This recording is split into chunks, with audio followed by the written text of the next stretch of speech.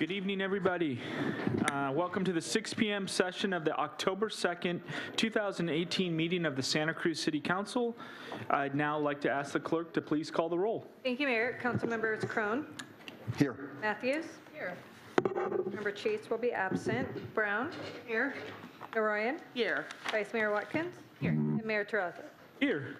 So there are two items on tonight's agenda. We're going to start with the green business and green building builders recognition, and then we'll have, after that, advisory body interviews for the Charter Amendment Committee. So I'd like to now turn it over to the green business and program for presentation. Good afternoon, Mayor Terrazas and council members. I appreciate the time to make this presentation to council on behalf of the Green Building Program. The City of Santa Cruz has demonstrated continued dedication to responsible and sustainable building practices by providing green building review for over a decade, with over 600 reviews this calendar year to date. Our Green Building Program identifies projects developed and completed by forward-thinking members of the community. The award process recognizes projects utilizing the highest standards for techniques in construction and design. Today, I'm pleased to present three new awards for achievement in exceptional design. Since the start of the program, the city has recognized 83 projects with Green Building Awards. Next slide, please. Please join me in recognizing award number 84 for 512 Second Street. Owner Adriana Gupta, architect Tim Lorenz, and builder Max Schultz. At this time, I would like to share a short description of the first project receiving an award today. This project went far beyond the requirements for an addition remodel. Note the owner specified pervious pavers at the lot entrance, increasing on-site water retention. Slide, please. The EV charging station will reduce vehicle-related greenhouse gas emissions, and a solar-lit path improves site access and night safety. Extensive materials reclamation and domestic-made products reduced building supply chain impacts. Mayor Terrazas, it would be an honor if you would present the awards. Accepting the plaque this evening, Adriana Gupta, owner, and Max Schultz, builder, will you both please come forward? The architect, Tim Lorenz, had personal business this evening and could not attend. So this is for Adriana? Oh, okay. Adriana, Max?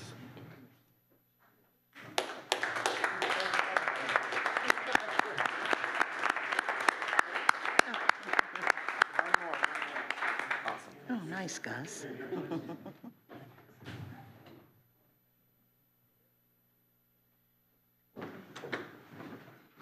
Next slide, please.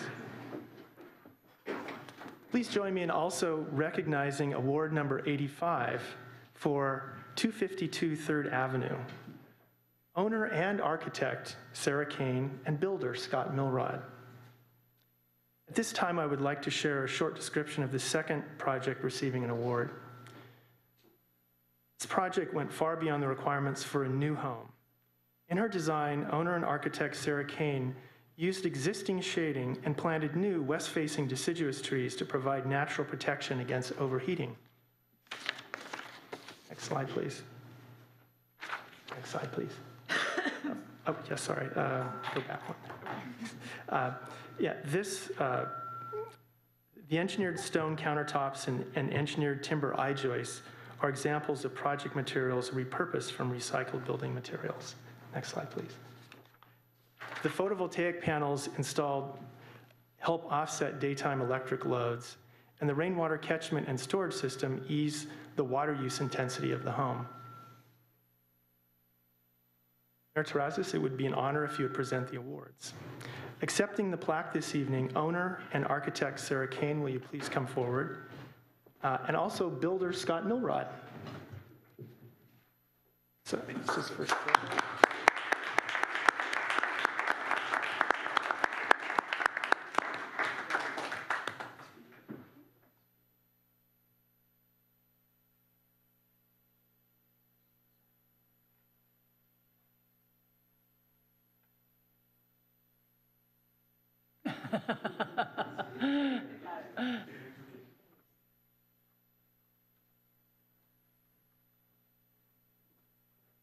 Next slide, please. Please join me in also recognizing award number 86 for 555 Pacific Avenue.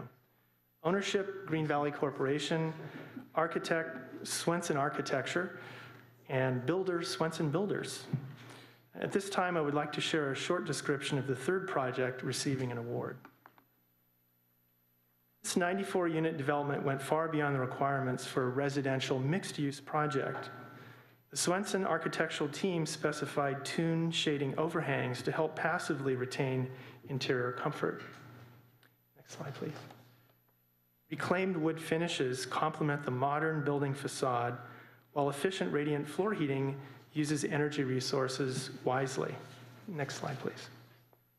Efficient Energy Star appliances reduce reliance on our district water and further reduce energy use, while electric vehicle charging provides occupants options for lower impact personal transportation. Mayor Terrazas, it would be an honor if you would present the awards for this project. Right, so accepting the plaque this evening, Jesse Swenson for Green Valley Corporation. Jesse Swenson. It's uh, Jesse Nichols. Jesse Swenson. Jesse Nichols, excuse me. Jesse Nickell. Got to get a photo, Tim's going to take a picture. And uh, Jeff Huff. You got to hold that thing up front. He's like, he's like a jack of all trades.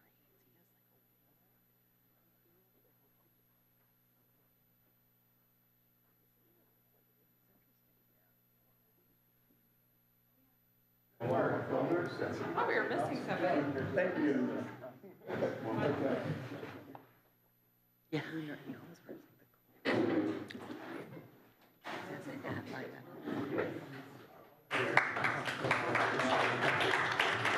Yeah, it's like the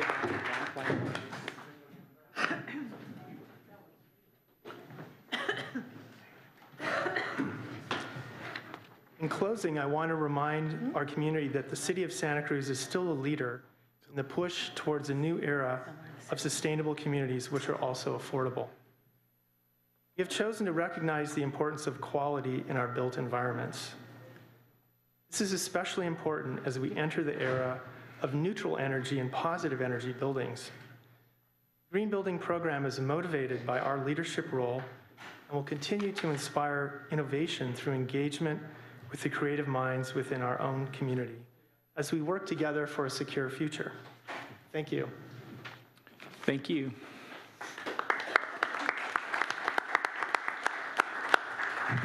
Thank you for all being here, and, and it's exciting that we began the meeting recognizing community members and businesses that go well beyond um, and above, beyond and above the uh, help our community achieve to live up to its uh, values. And I want to thank you, Kurt, and everyone in the uh, planning department for all the work you do.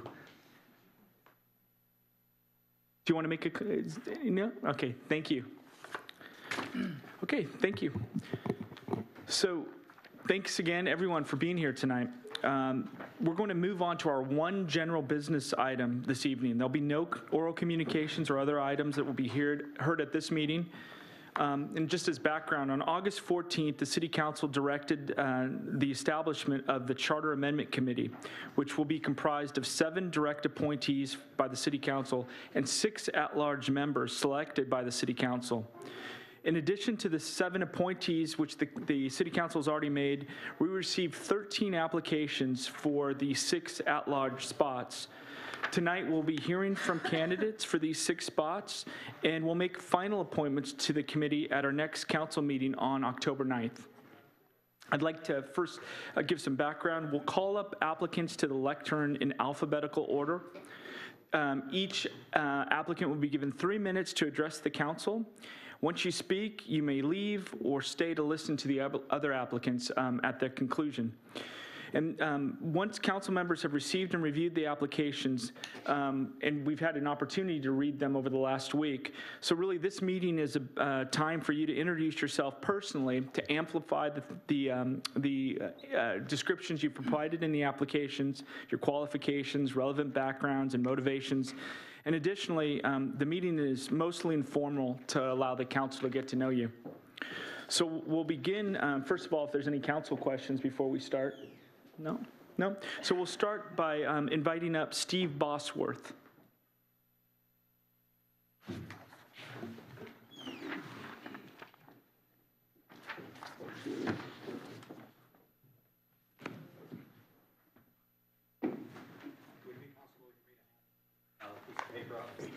You just leave it to him, you can hand.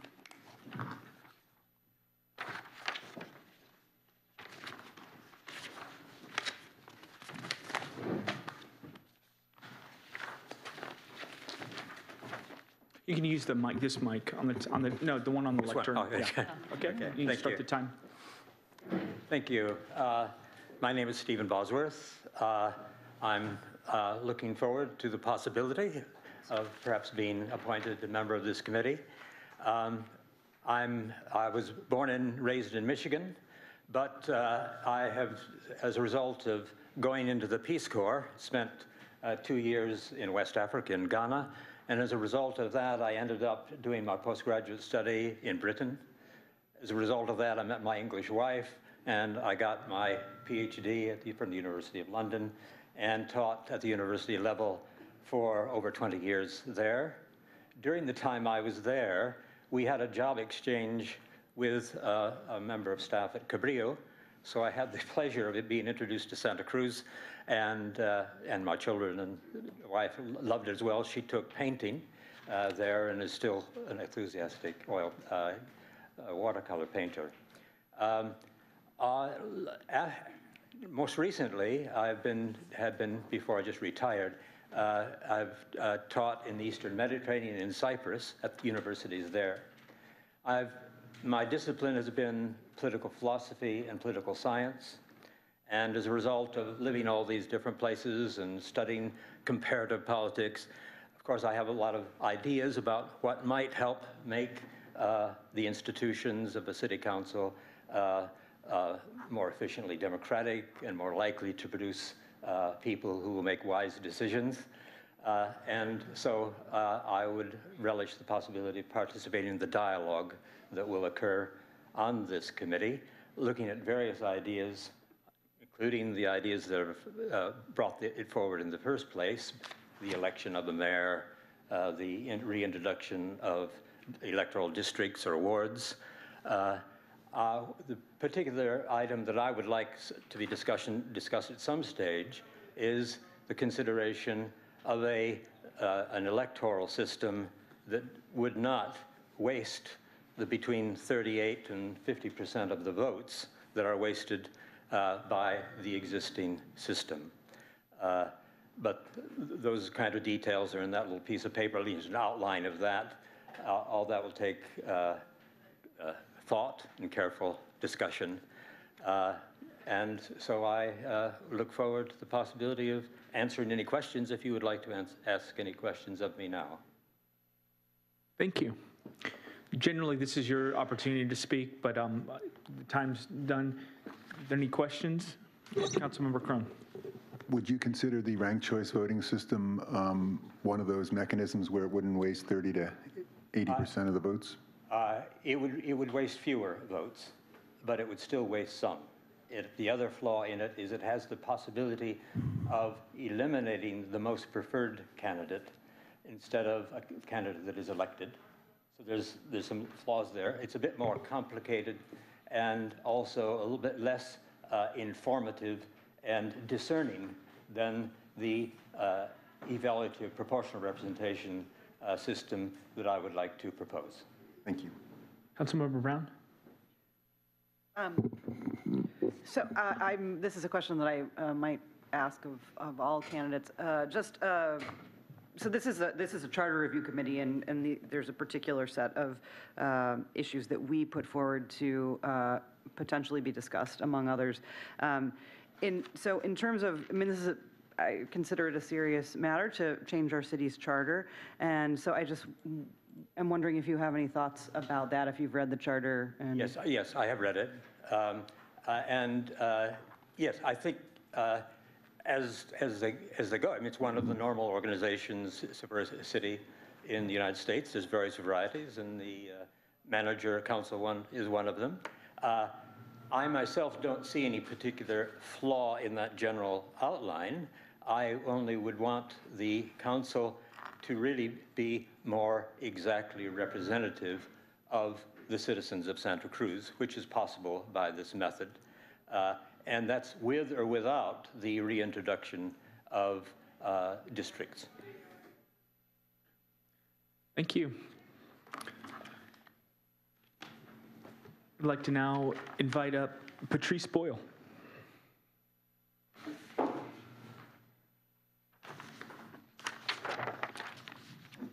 Good evening, good evening. Um, Since fortunately this is not a commission for public speaking, I'm just going to read this because I'm a little bit nervous.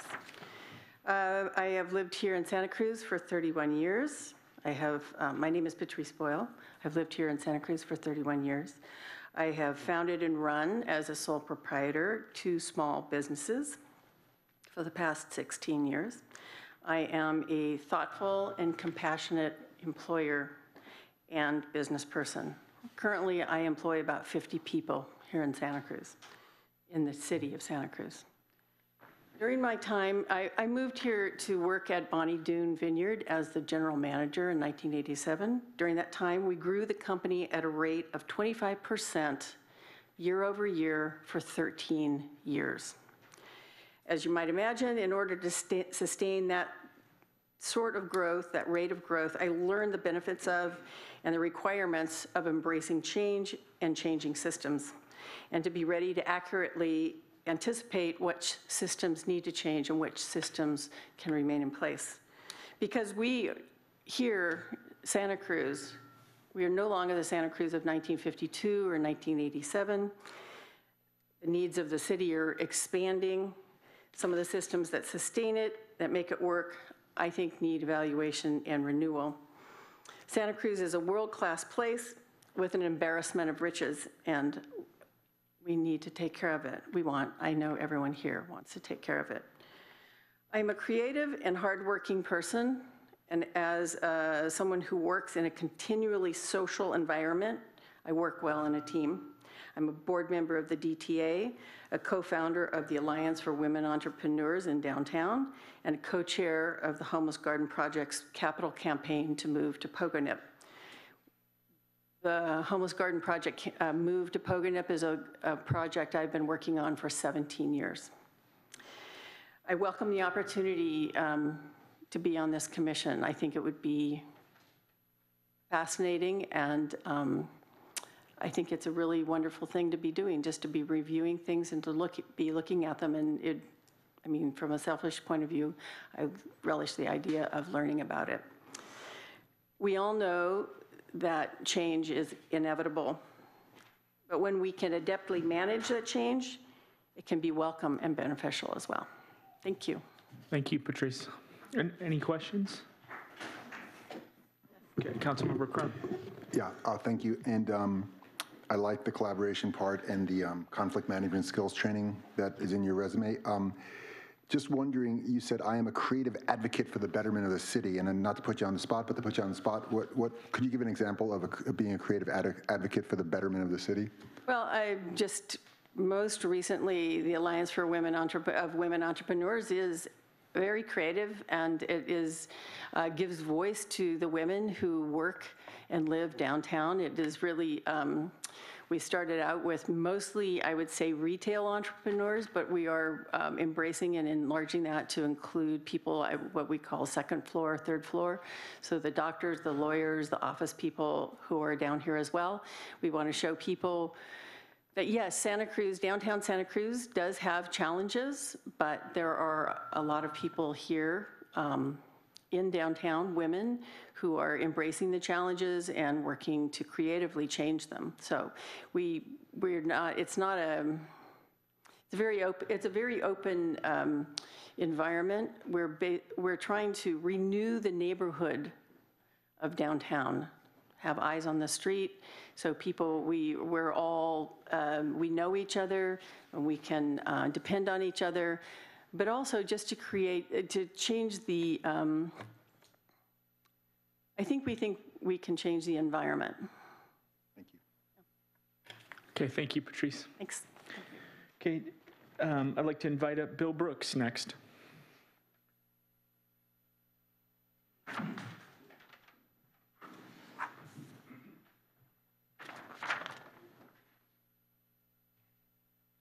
Hello, my name is Bill Brooks. Uh, I've lived in Santa Cruz since 1959, and I think this uh, commission, uh, I would be well suited for it for the experiences I had. I graduated from Santa Cruz High School. I worked, out to Cabrillo for about a year, and then got a good job at Sylvania Electronics when they were where Plantronics is now, and actually worked in purchasing and flew all over the country talking with suppliers and and, and what did that teach me? Uh, good listener, compromise to achieve goals for the company and for everybody. Uh, I left Sylvania. I went to San Jose State University. I got a degree in accounting and personal management. Now it's HR.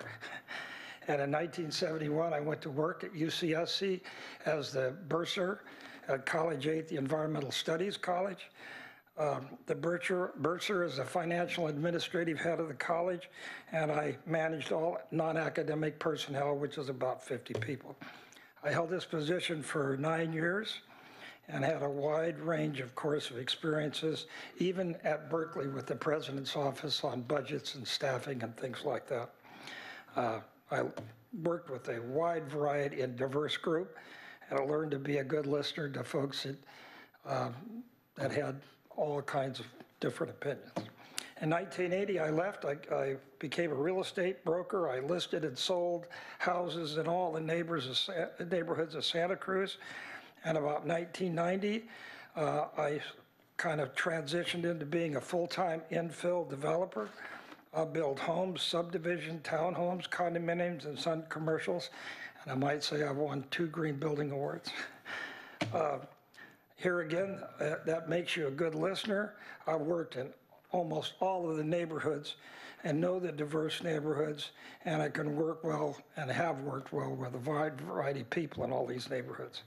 The committee I see uh, has, of course, to look at, do we need an elected four-year mayor? Uh, The analysis will look at the complexities of the mayor job, and my depth of professional and management skills will work well to determine if a full-time mayor is a good fit for Santa Cruz. Uh, The is also going to look at district elections. The analysis will look at to determine if a neighborhoods are better served with a council person from the neighborhood area. Um, And I would say that I'm sort of semi-retired now, so I've got the time to put into it, and I would like to pay back to the city that has been good to me. So, any questions? Thank you, Bill. Um, Any questions? Councilmember Brown. Thanks for being here and putting your name forward. Um, uh, So you mentioned the, the directly elected mayor and district elections as two of, and th- those are two of the key elements of potential charter change. Are there other elements of, at least in the, um, what we've laid out as a council and/or other ideas that you have that you um, also are interest, excited about exploring? Well, the committee, as I understand it, is going to look at those two items specifically for the chart, charter change. And I think that there's, uh, uh, you know, a lot of data that's going to flow into there to make a decision. I mean, a mayor could be right or maybe not right. And same with the district elections. Uh, uh, I watched what happened in Watsonville when they did it, and I thought it was a pretty well thought out uh, process, and they ended up doing it. So all I'll say is that uh, I'll consider all options carefully and, and thoroughly. Okay. Councilmember Krohn. Good to see you, Bill. Hi. Just wondering, you know, we don't have to get into a long discussion, but why four-year term instead of a two-year term? I think that the, that the mayor is very much like the city manager. and there's continuity in, in, um, in practice and in the people that you deal with. And uh, uh, I have no real, I think two years might be a little soon to, to transition out of this. I listened to the mayor of, I think it was Santa Clara, give uh, that discussion, and I agree with what she said, that, uh, you know, sooner get your feet on the ground and all of a sudden you're cycled out. And uh, I think two years might be a little short. Um, I'm open to looking at what other folks think, but I think four years would be good, but no more than four years. Thanks. Okay, thank you. I'd like to now invite up Sylvia Caras.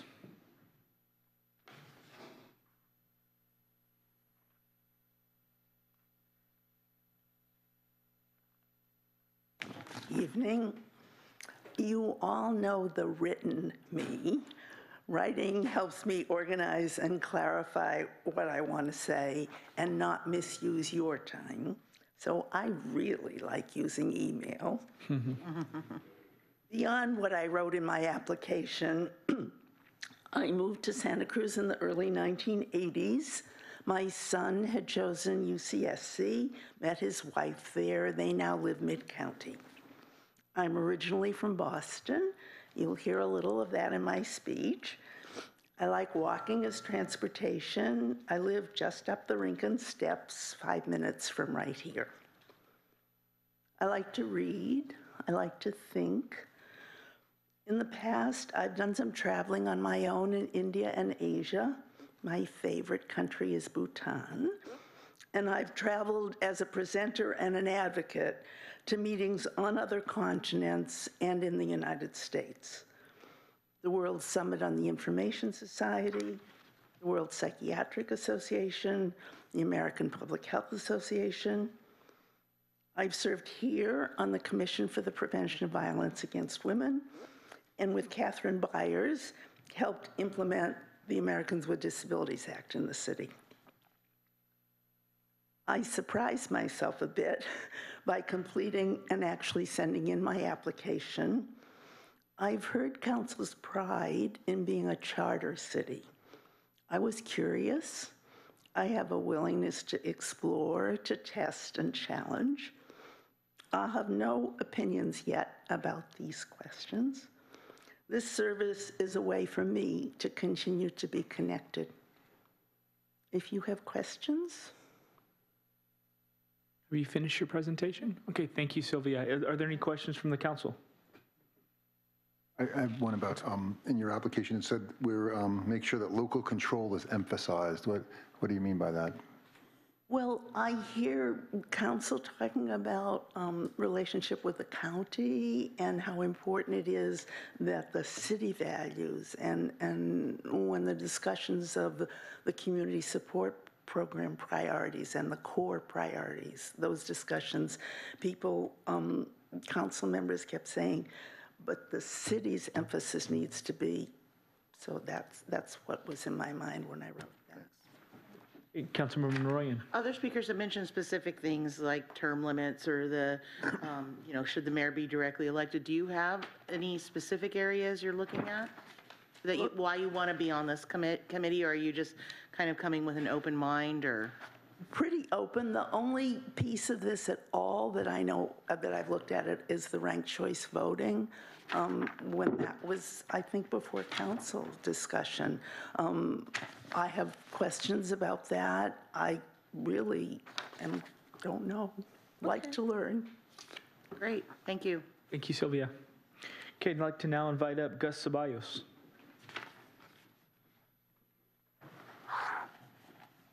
Council. Uh, Once again, my name is Gus Ceballos. Um, I am born and raised here in Santa Cruz. I live about a block away, and um, I consider myself an everyman. And um, even though I am an everyman here in Santa Cruz, I love the city and I'm still engaged in the community. Uh, number one, my wife is a small business owner. She recently started her business. Uh, number two, um, I actually am a program director for the Seniors Council of Santa Cruz County. So I am involved in a lot uh, with the senior community. Um, and number three, I am a Latino. Okay, and I will get to that in a little bit, why it's important to me. So even though I didn't write a speech, there are a couple things that I wrote down in my, um, in my questionnaire that I'd like to point out, okay? Uh, So number one, uh, I want to I want to reflect the 21st century sensibilities and build a strong foundation for Santa Cruz's future. So what I mean by that, and I'm going to tip my I'm going to tip my hat here. I would like accountability from the leaders of Santa Cruz. So accountability, um, they need support. So budgets, staff, salary, that is all things that we can work upon. Because right now, if you go and you ask an everyman, you know, who's, why is there a problem? Why are they unsatisfied with the city? They don't really know who to point fingers. They point the fingers at the mayor. And we really know that the mayor does not run the city by itself. It's a collaboration. So at least with this, we can pinpoint who's going to be accountable for four years at least, I believe. Okay, another thing that I wrote down here, I'm ecstatic for the potential of this committee and the changes it can make. Number one, districts. Um, 33% of Santa Cruz is Latino. When I saw the email we had 13 people apply for this, I think only two were of color and only one Latino. So that's what, six, 7% representation in a city in which 33% of the people have a voice. So I feel that me being born and raised, oh, sorry, oh, I got 30 seconds left. Me being born and raised here in Santa Cruz, I can actually provide a voice for people who, for very, very long, have not felt engaged, and especially the youth of today. If they can see someone fighting for them, it's going to bring them up and they're going to become more involved. So thank you. Thank you, Gus. Are there any questions? Council, Councilmember Krohn. Have you seen, um, I'm just thinking of Latino representation in the city of Santa Cruz. Somebody sent me a, a map recently with all the basic dots of Latino voters. Do you see, um, I, I don't know if you've looked at a, a map like that, but is, would, could there be a uh, Latino majority district in Santa Cruz, or is it, too, are, are people too spread His- out? Historically, I'm not, everyone knows the Beach Flats Yeah. has been uh, Hispanic since the mid 70s.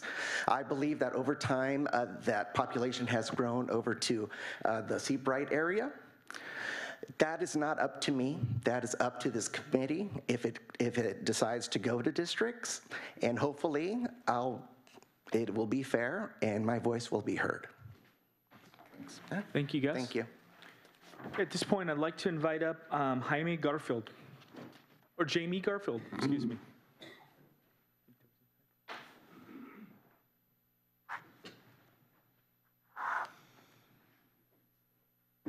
Hi, Mayor Terrazas and City Council members. My name is Jamie Garfield. Um, I've lived here in Santa Cruz for almost 40 years. I retired just a few years ago, along with my husband, from working over 30 years at Staff of Life um, after graduating from UCSC. I have the time and intense interest I think is needed to devote to this charter review and recommendation process. I've always been interested in our election systems, in fair and equal representation, in voter engagement and turnout. For three years, I was a national leader in an effort to overturn Citizens United and end the corrupting influence of big money in politics. Here in Santa Cruz, um, we passed HAR1 and legislation in five other states. Also, I was involved in the California Clean Money Campaign for the Disclose Act, which finally passed last year and enables voters to see who the actual top three donors for a proposition are. For about a year, I was involved locally with the group Yes on Ranked Choice, an effort to get to gather signatures for a ballot measure to establish a ranked choice system here in Santa Cruz. For many years, I've studied the profoundly more democratic and representative outcomes of ranked choice voting. That ranked choice voting can produce. Once people understand how it works, they tend to see its value. Among the recommendations of the Santa Clara Charter Committee, I noticed that ranked choice voting was mentioned. My understanding is that considering a change from at-large to district elections may in part be because of, because of a concern regarding the California Fair Voting Rights Act. According to FairVote, however, this is not likely a concern for us. So the question really needs to be, what is the best system for free, fair representation here in Santa Cruz? We need a thorough evaluation to determine what, if any, changes should be made. The demographics and layout of Santa Cruz are unique, and so we need our own study. And I would very much like to contribute to that process. I've also always, 30 seconds, is that what that is? 27, okay. Um, I've al- always also felt really proud about how Santa Cruz has a rotating mayoral seat, um, and that it's not elected at large. Um, my understanding is that over the years, it has, this method has insured against a singular powerful individual and instead encourages a sharing amongst the council members and enhances a respect for, I have so much more to say. You can, you can- you can finish up the sentence if you like. Um, yeah, I mean, I, I really think that not only do we need to evaluate fair representation, but also what system will allow for a, a, um, an environment of respect and friendship. Thank you. Are there any questions? Councilmember Krohn. You're talking about, um, when you said Gail is going to buy new machines, you mean Gail Pellerin in your application? Um, yeah, and that was like a year or two ago, so I think it's coming up a And year. When you say with RCV um, requirements, what are, what are those? Well, the, ba- the, uh, the voting machines need to be ones that enable ranked choice voting. Thanks. So I think she was sounding very open to that when she came to one of our meetings. Thank you. Thank you. I'd like to now invite up uh, Joe Ghio.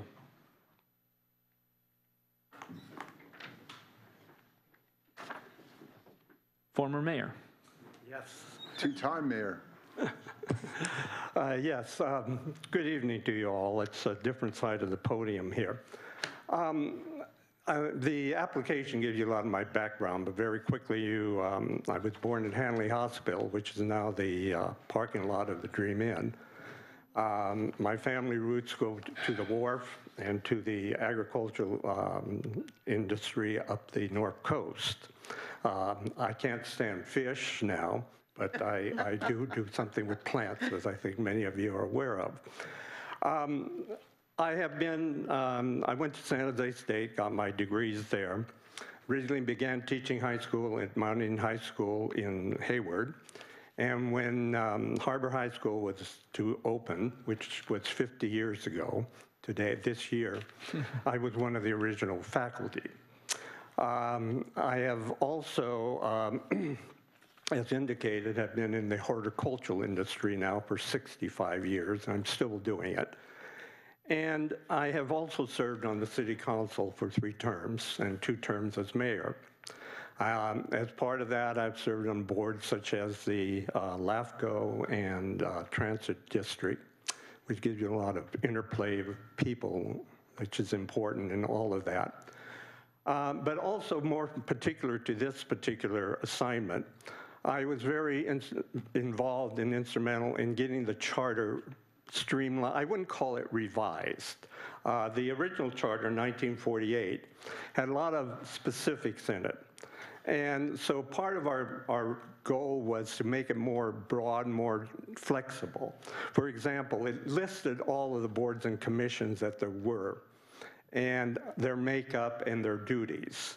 Um, It, that made it very impossible to make any changes without, you know, putting it on the ballot.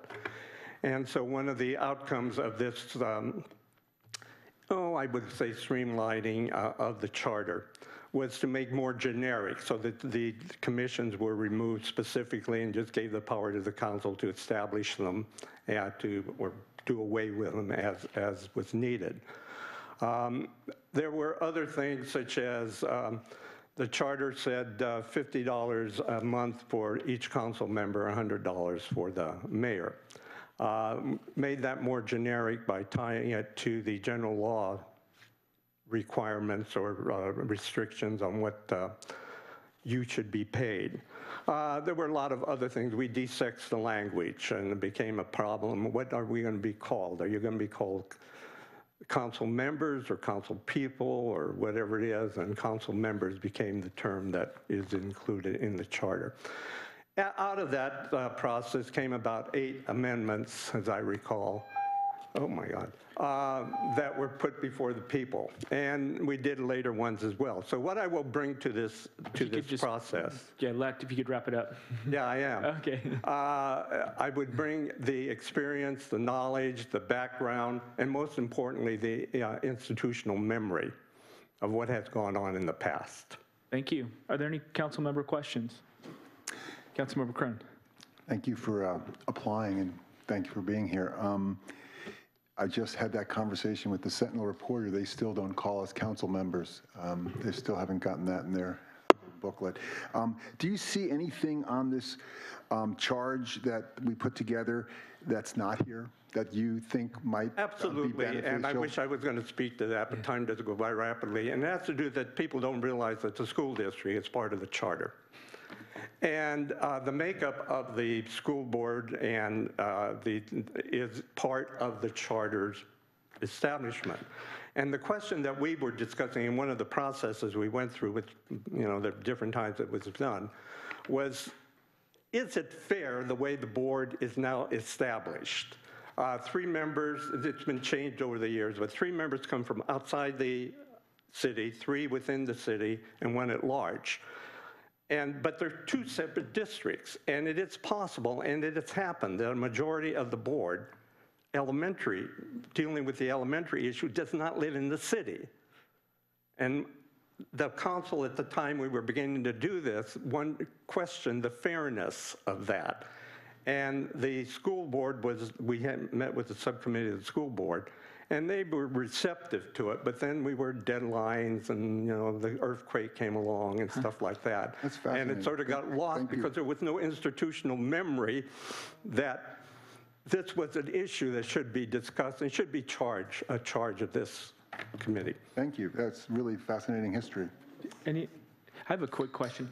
When you met last time to streamline the, the charter, how, how long did you meet and uh, what would you say was uh, It was a- the duration? It wasn't long because we dealt with the, um, with the city attorney and just a group of three of us, and which made recommendations to the council. And uh, then they were put on the ballot, and as I indicated, all the times that we did that, they were passed unanimously. Not unanimously, but by majority of the electorate. Thank you. Are there any other questions? Thank you. Thank you for applying. Thank you. Okay, I'd like to now invite up Timmery Gordon.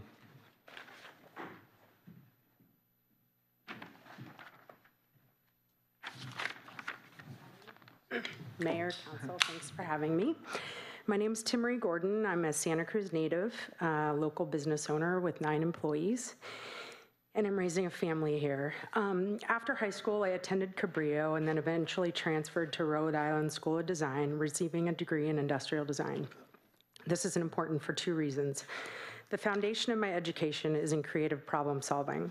And the second is after living many other places from east to west, I chose to come back to Santa Cruz, start a business, and raise a family here. My creative problem solving in this community goes beyond the built environment projects of Nielsen Studios that you may know of most recently, Abbott Square, which is a great community contribution. Um, it's a way of thinking. It's uh, creative problem solving is a way of thinking, of approaching challenges, and of thinking outside the box. I've used these skills as an arts commissioner for years on several small study groups in the city regarding the river development, wayfinding, and many other topics to help make the city a better place. My most recent contribution was as part of the short-term rental subcommittee. I believe my reputation is one of fairness, being a good listener, and rational decision maker.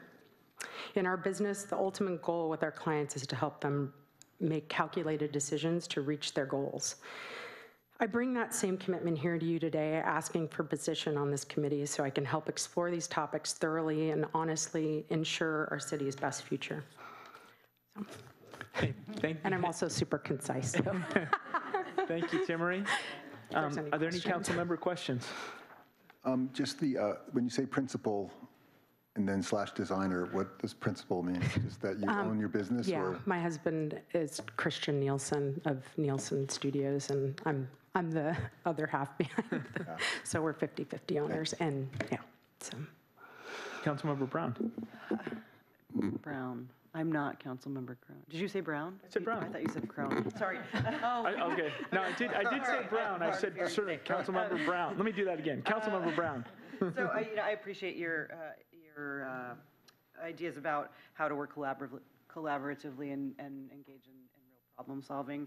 Um, I'm wondering if you, if there are any particular aspects of the committee's charge that you're interested in pursuing in terms of district elections at large. We have some other issues that we discussed during our uh, decision, when we were making the decision to establish this uh, committee. Right.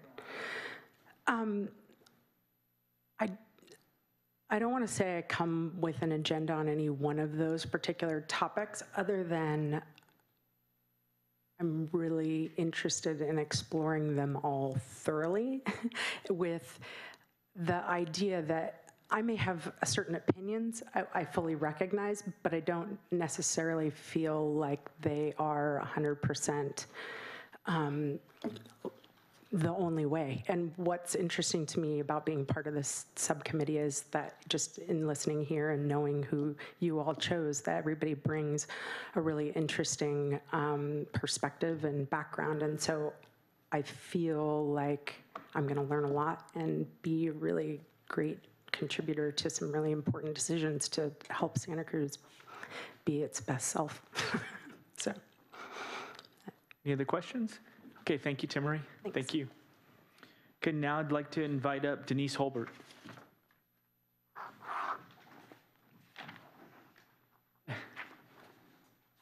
Mayor Terrazas and members of the uh, council. Um, I find myself here tonight um, applying to serve on the Charter Amendment Committee because all of my adult life, I've, I've been an activist and an observer of the po- political process in Santa Cruz.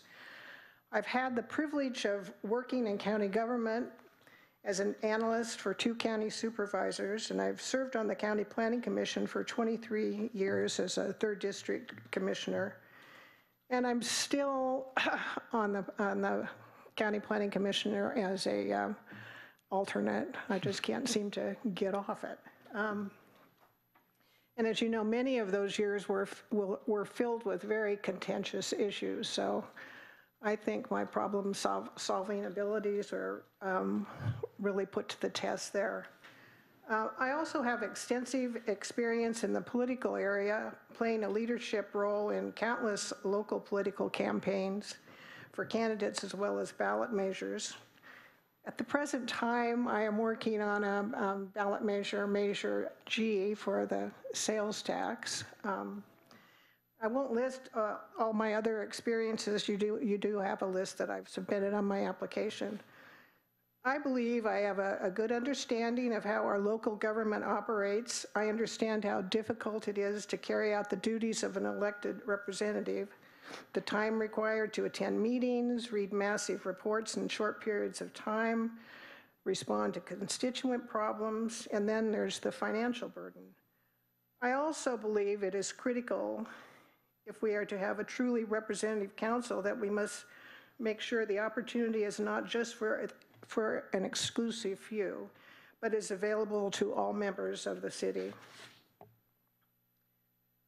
Having worked in a staff position in local government for many years, I'm also aware of the wear and tear on the support staff that runs the city day, day to day. The decisions made by this committee, and finally the council and finally the electorate will have a major effect on staff as well. As an activist, I know the transparency in government is necessary to engender trust. It is, it is important that citizens, that good citizen outreach is inclusive. The task before the committee requires the members to work with each other, the staff, and the community. It requires committee members to keep an open mind on all the issues. If I am chosen to be on the committee, I will do my homework. I will keep an open mind on all the issues, remembering that the goal is always to devise the best way to deliver good government. Any questions? Thank you, Denise. Councilmember Krohn. Thank you, Mayor. Um, Loving history, I didn't know you grew up here. Um, And you, Yes, I did. ah, you- you, you met, uh, yeah, I've known you for a while, and I didn't know that. Um, You mentioned that the population grew from 25 to 64,000 since you were younger and now. Uh, Put that into context, could you, of this charter committee, and what, what, what might that mean as far as like? Not sure what it means. Well, well, well, you mentioned in your application, But I I mean, that what you were nothing at. stays the same, you know? It's, uh, that things do change and we have to possibly make um, uh, accommodation for that. No, yeah, I'm just thinking about population and growth, and uh, if, if this charter If you committee. had more time, I, you know, I, you know, so, you know, I'll talk to you about it. Thank you. Thank you. Any other questions? Okay, thank you, Denise. Thank you. Thank you.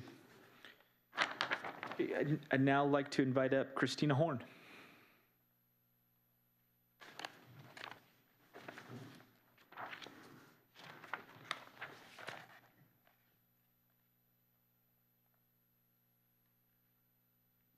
Good evening, Mayor and council members. My name is Christina Horn, and although I will confess to having a somewhat embarrassing level of wonkish interest in each and every one of the issues that will be discussed by the committee, I will direct my comments to the topic of at-large versus district elections.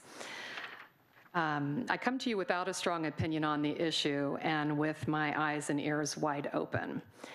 I have read and agreed with opinions put forth by the League of Women Voters, the National League of Cities, as well as proponents of each electoral system. Both sides have strong and cogent arguments. The cities of Sunnyvale, Morgan Hill, Santa Clara, Fremont, and Menlo Park have either changed to district elections or are considering doing so in the next election cycle. The city of Santa Barbara switched from district elections to at-large elections back in 1968 and then switched back to district elections in, in 2014. Santa Monica is presently defending itself against a legal challenge brought forth by plaintiffs citing violation of the California Voting Rights Act that would have the city transition to district elections immediately. No matter how one may feel about the issue, what seems apparent to me is that ideally we should arrive at a community consensus opinion on this before the question is forced by a lawsuit, when we can have a clear vision on what is best for Santa Cruz without the fear of threatening and overwhelming legal costs clouding our judgment. When the city of Palmdale tackled this question back in 2015, they ended up settling a CVRA legal case that forced district elections and led to the obligation to pay $4.5 million in plaintiff legal fees, plus interest, in addition to paying their own lawyers. I think for Santa Cruz's part, this needs to be avoided at all costs. It is also important to note that while the experiences of other cities are illustrative, and it is a great foundational exercise to examine the actions of other municipalities that may have gone before us on this topic, it is imperative to arrive at a solution that is Santa Cruzian in nature. What works for Santa Barbara or Sunnyvale may not make sense for our city. As a member of the Charter Committee, I would strive to work with other members to achieve consensus around a homegrown solution that reflects the unique demographics of our city, as well as the collective consciousness of our electorate. Um, I'd like to end by emphasizing that I meant what I said in my application, and that's namely that the strongest outcomes are those that are derived from the collaborative work of a diverse group of stakeholders. Honoring and respecting the opinions of others and working to achieve consensus would be central to a successful committee. Thank you. Thank you, Christina. Are there any council member questions? Councilmember Krohn. Um, I'm just, if, if Santa Cruz was ever forced to create districts, what, what would be the reasoning for that, w- w- w- from what you've Um, looked I, at? I think that there have been several lawsuits. I think there's been uh, 20, a total of 22 that have been put forth since the um, California Voting Rights Act was put into place. Um, So you're saying it's a fairness issue, that there's certain groups being left out? Yeah, well, you know, absolutely. And one of the issues that I've sort of uh, come to understand a little bit better since I've just been doing very preliminary research is that, um, you know, the- these uh, lawsuits that are brought forth by uh, usually different groups of either voters or constituents that are representing either a minority group or, and it can be minority in, in, in a different sense. It could be sort of socioeconomic, ethnic, what have you, um, can get quite costly and can spin out of control uh, quite rapidly. So, um, you know, I, what I found so interesting about the case of Santa Barbara in particular is, I'm sorry, Santa Monica, is that voters had resisted this transition from uh, at-large district elections twice since the city implemented this in 1946. They had uh, voter referendums in uh, 1975 and 2002. And so Santa Monica is really fighting quite aggressively to um, basically say, okay, state of California, if you think that this is so important, then mandate it at a statewide level. And in the meantime, we're going to fight for our unique municipality's interest in, in preserving the uh, at-large. Thank you. Councilmember Brown. So just a follow-up question. Uh, So I- I think it's trying, getting at uh, Councilmember Krohn's question. If, um, just based on, and I'm, I'm not trying to push and and suggest that you are advocating for districts in any way or that um, you're, you- so- so I just want to be clear about that. But I'm just trying, it's, it's a question that I genuinely want to try to get answered, and so I'm looking for all kinds of perspectives and knowledge about this. Um, If it were, I mean, clearly there are underrepresented populations underrepresented on this city council. Um, And so I'm, I'm just trying to figure out how, um, if at all, that might be addressed through kind of a spatial uh, solution, right? So, so organi- that's organized geographically because, um, like, uh, you know, Councilmember Krohn, I've looked at the map. And so I, I'm just, it's, a- it's an open question and I'm wondering if you've thought about that, if you have anything. you I agree it's an open question, and I have thought uh, at length about sort of the dynamics behind, depending on your preferred pronunciation, gerrymandering or gerrymandering. And I think that to have, you know, some educated uh, eyes on the, the topic that is, you know, not afraid of sort of data-driven research and empirical um, research, that that would only sort of enhance the outcome. Thank you. Uh-huh. So I'd- I'd next like to invite up Keshav Kumar.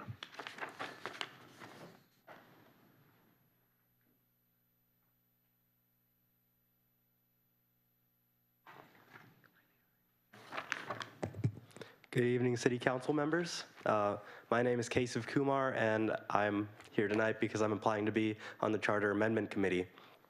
A little bit about myself.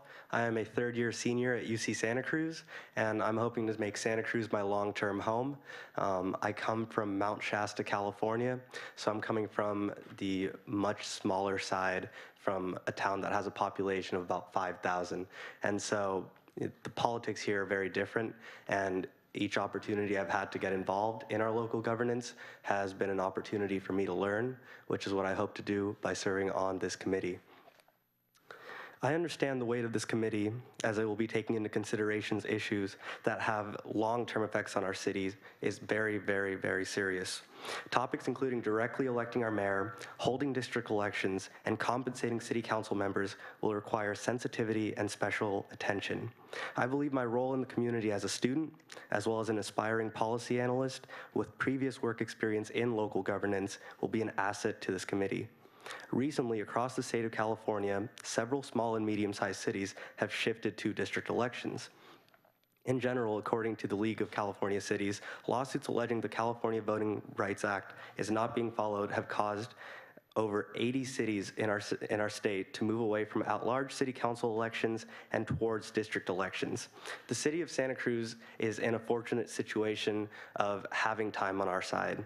By considering every aspect of a transition to district elections, we can better understand the effects they would have on our community.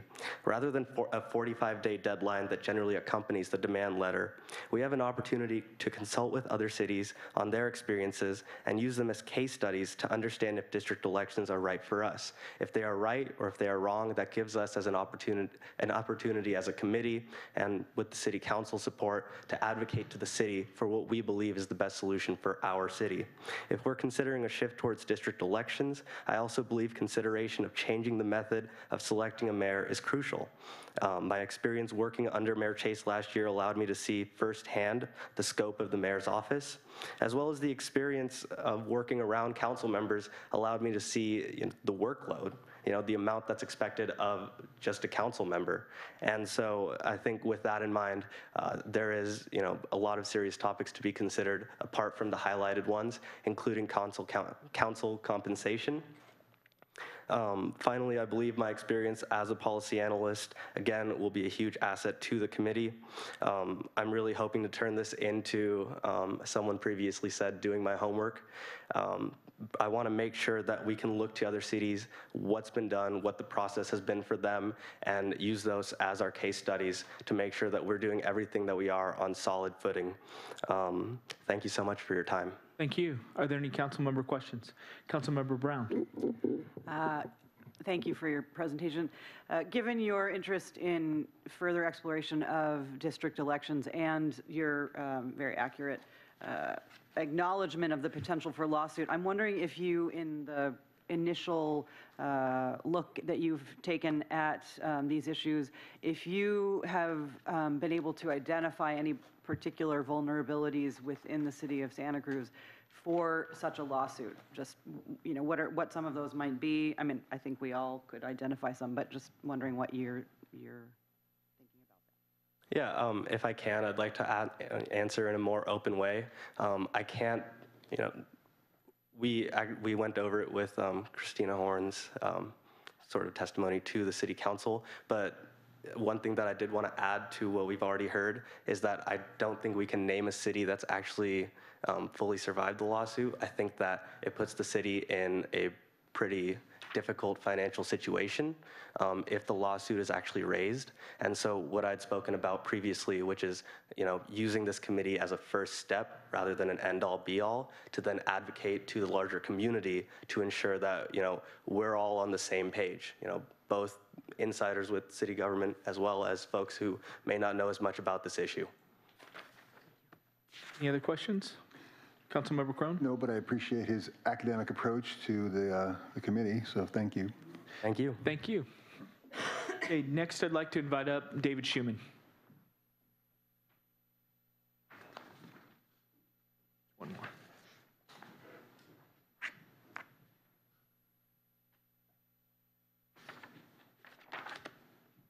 You guys doing?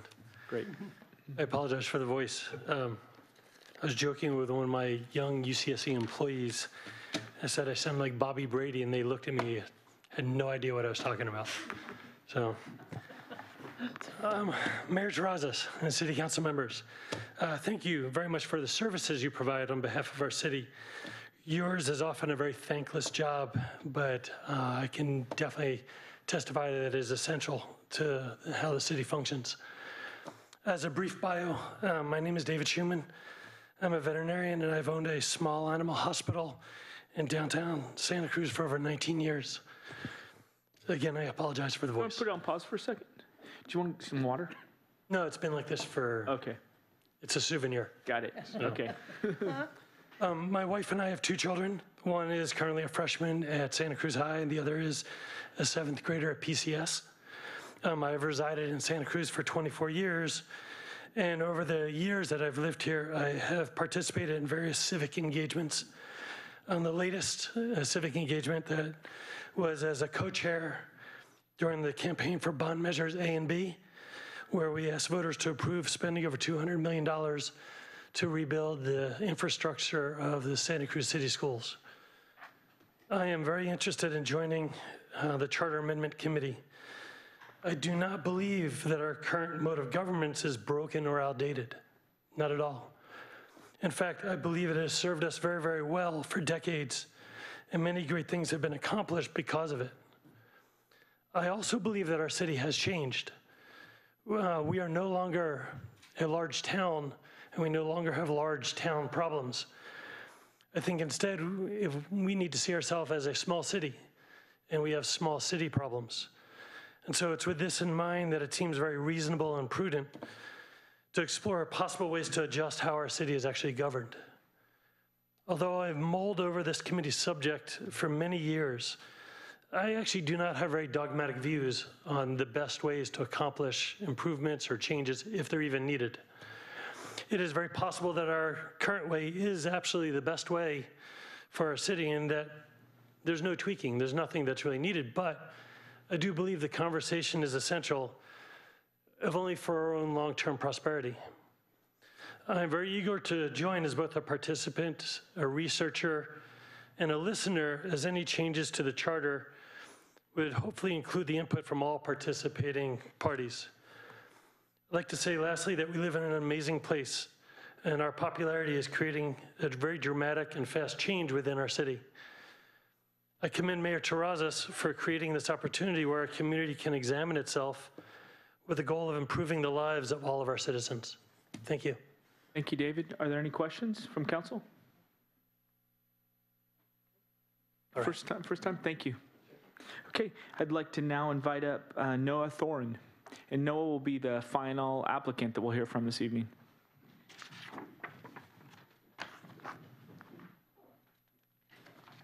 Since I'm last, I'll try and make this quick. Uh, so, hi, I'm Noah Toron. I'm originally from San Diego. I'm a recent graduate of UCSC. I graduated uh, just this June with a uh, major in studying uh, economics, and I minored in stats.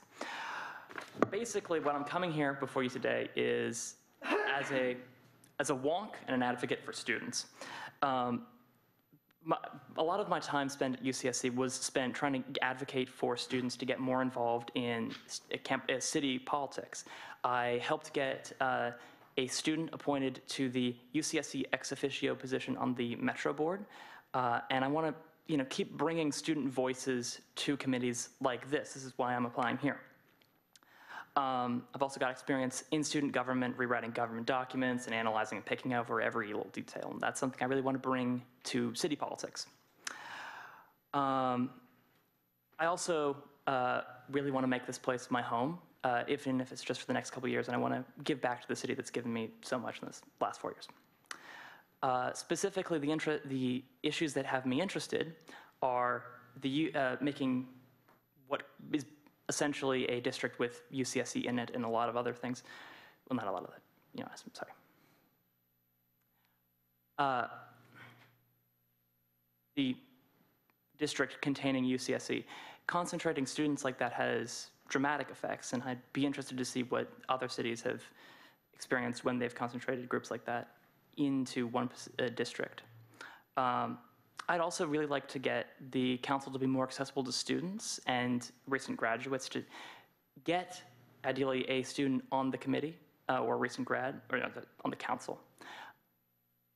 Uh, not myself personally, uh, but raising the uh, compensation would definitely help people, you know, both support themselves financially and participate in city uh, council while being a full-time student. And I think that's something that would be really valuable. Uh, but that's all I have to say. I'll, any questions? Thank you, Noah. Are there any council member questions? How did you hear about this position? And also, how do you think the city could outreach more or, or in a better way to bring students into local government? Uh, I heard about the position through my roommate, and I think that there's a lot of outreach that could be done. Uh, I, when I was chair of my branch of the student government, brought uh, some city council uh, members, including Mike Rotkin and Cynthia Chase, uh, to speak to uh, the a group of you know student government students to you know talk about the issues of the day and how students can get more involved. And I think you know coming to campus it would be great. Um, students, I understand, do really have to reach out, and that's something that I'm trying to do with this. I'm trying to come as a recent student and advocate for students to the council to say, here's what I say, here's what my student, my friends say, here's what my colleagues say, so on. Yeah. Any other questions? Okay, thank you, Noah. Thank you for being here this evening. No worries. Have a great night, y'all. Hey, thank you. And I'd just like to say, I want to thank each of the 13 applicants who came here this evening for the interviews. I know coming on a Tuesday evening to do this is time out of your day, time away from family. I want to personally thank each of you for being here this evening. And just as background, the, um, the council will be continuing to review the applications as well as kind of mull over what we've heard this evening. At the October 9th meeting, that's uh, one week from today, we'll be making decisions on who those appointments will be for these six seats. So there'll be a vote in the afternoon, and then you'll receive notification directly from the city in regards to those appointments. Um, I can tell you now, if it hasn't been made public already, it may be in the packet, but in alphabetical order, the direct appointments to the committee were David Baskin, Kathy Calfo, Rachel Dan, Leslie Lopez, William Au, Chris Reyes, and Glenn Schaller. So those are the direct appointments, and then there'll be six appointments that will come through this process here this evening. And you're welcome to reach out to council members. Council members may be contacting you to, for any of the discussions, but I am just very much impressed with everyone's not only interest but knowledge, but um, your your sense of like your uh, your sense of contributing to Santa Cruz and your service. So again, thank you. Um, my deepest thanks for you being here and applying for these positions. Thank you. Yeah. Are there any other council member uh, questions or comments before we conclude this evening? Uh, Councilmember Noroyan? So at the actual meeting where we choose six folks, how will that work? I think it'll, it'll go a lot along the lines of how we handle our advisory appointments in terms of they'll be open for nominations. Maybe I'll even ask the clerk if she, she could uh, kind of explain the process like we've done for the advisory appointments. We had planned on doing it exactly like that, where you, I think you started at one end and went, worked your way down for nominations, and then you did the votes. And so are you envi- envisioning, we'll probably have, each person will have six nominations we'll go through. Um, And, you know, then we would uh, tabulate the number of votes for each, um, for each uh, nomination. And once someone reaches a majority, they'd be appointed. Like if we go from Sandy to Chris, then it would be if all of us mention the same person. You don't have to repeat it if someone's nominated and it's Okay. one of your, already- it's, you'd be nominating someone who has not been already nominated, and All then right. you'd go through the So we process. take the nominations Yeah. first, okay. Okay. And c- could we give folks, a ti- what day exactly? That's will we be- Tuesday, October 9th. It'll be in the afternoon session. Um, We're still working on our Tuesday agenda. I'll maybe ask again the clerk. I mean, I think it'd be sometime after 2 o'clock that we would do this, th- and it might be later in the afternoon because it'd be part of our general business. Probably before 4 o'clock, I imagine. It'll be, it'll be after, I imagine, 2 o'clock and before 4 o'clock, if I could pinpoint it down to a particular time. Councilmember Mathews. Um, Two things. Thank you all. This is a really incredible, impressive pool Yeah. of people who care a lot and have a lot to offer, so thank you. Um, I just have a question on the process, because there, there will be so many appointments compared to our normal commission appointments. Um, All the nominations will be put on the floor, and then we'll go along, and, for example, starting with Sandy, you name six choices,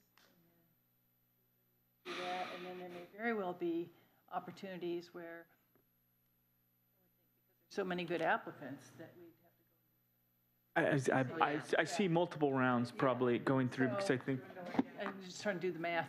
well, I'm thinking what we would have is we would, like, I would envision that um, each person would go through, make a nomination. You, are, you don't have to make a nomination for all six, but you can make nominations for two. And if, and if something's on the floor, then, then we would go through and have a vote. And we don't always have to start with me, that's okay. too. That's true. I mean, I- it's fine, but. No, no, we're just, it was just, I think, pointed out this side, but it could be either side. Gotta start somewhere. Start, start maybe with, uh, yeah, we'll flip a coin. Hmm. Okay, I want to thank everyone for being here this evening. This meeting is now adjourned, and uh, I appreciate um, your presence, and have a good evening. Really 15 minutes. That's great. before I came in here? Okay. Good, good group. Yeah.